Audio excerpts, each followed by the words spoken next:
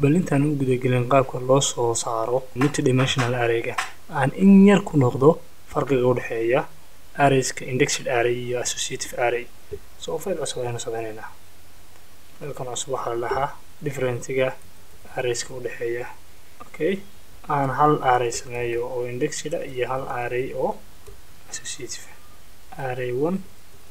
Waxaan leenahay ha ahaato tusaale ahaan one two three four five six ama tirooyin kala deh. Qasab maaha one iyo two inaan isticmaalno so markaan rabno echo inaan u yeedhno arraygan waxaa la dhaho tiradeeda ugu dambeysa waa inaynu ka soo tirnaa zero zero one two three four. Marka eidka wuxuu tegayaa four. So balaan faylkeena tagno ahaa div arrays. Halkan array one weeye variableku sorry eid buu soo saara haddaan rabo inaan kugu horreeya soo saarno waxaan dhahayaa zero. Waa arrayga noocaas waa indexed array. Waxaa kaloo jirta nooc la dhaho associative array. Waxaa u yaqaanin luqadaha kale dictionary ama tarbles baa maqlaysa waa tan waxaa leedahay tusaale ahaan five one ha la mid ahaada ten two ha la mid ahaato tusaale ahaan twenty. Calaamadda la midka maaha calaamaddan ghost weeye. Qaabkaasoo kale loogu dhigi kartaa. Qaabo badan oo arrayga loo qoraa jira soo tanoo kale markaan rabno inuu yeedhno siba u yeedhi karnaa.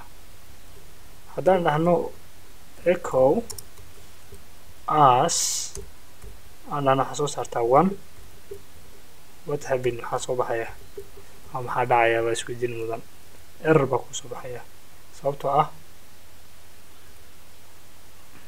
arrayga horta aanu xidhno. Waxaa soo baxay one ten baa soo baxay. Waynu saxsannahay sababtoo ah kan aynu iska soo xidhno comment aynu ka dhigno waxaa soo baxay toban.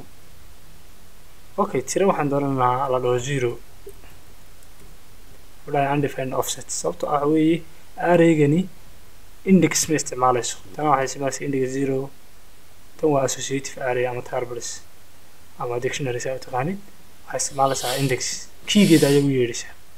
Haddii keygeedu tiro yahay keygeeda u yeedhaysaa haddii kalena oo ay noocan tahayna oo halkan qoraal xataa ku jiro. Ay tahay vols ay xataa tahay string la dhaho fahad. Nooca dunta u yeedhi kartaa fahadkaasoo kale wuxuu gelayaa indexka waa soo tirsantaa zero aad ka soo tirinaysaa laakiin tan oo kale id ba wuxuu noqon karaa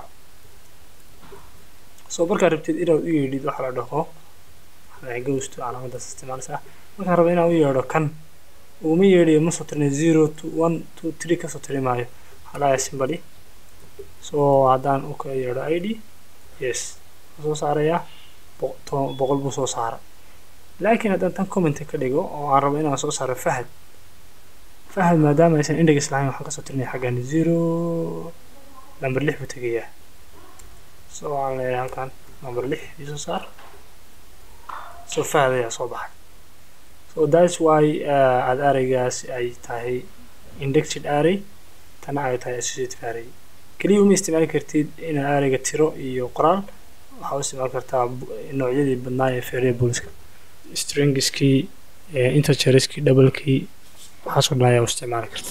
So tanoo kale marka isticmaalaysid waxaa loo isticmaalaa for loop sidaan hore u soo dhilinay tanna waxaa u baahan tahay inaad u isticmaasho for each loop maadaama ay leedahay key and value pairs intaas ayaan rabaa inaad fahantaan aad mahadsantiin wabillahi towfiiq